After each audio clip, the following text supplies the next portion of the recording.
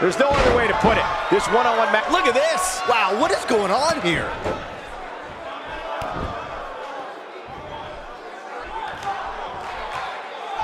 He's simply reminding him that he's here.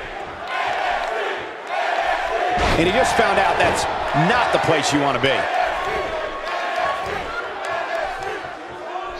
He's starting to stagger a bit. He's going to want to make sure this doesn't snowball out of control. I wouldn't call for the medics just yet, Cole. He still appears to be in pretty good shape here. I guarantee you that the post-game show on the WWE Network will be talking about how he struggled getting out of the gate here tonight. What a way to win a singles match.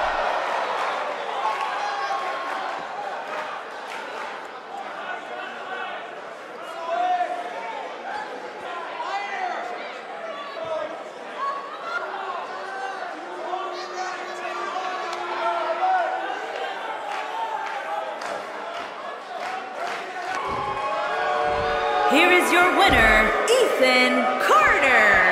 Big pinfall victory here tonight. That's a big win right there. Anytime you can pin another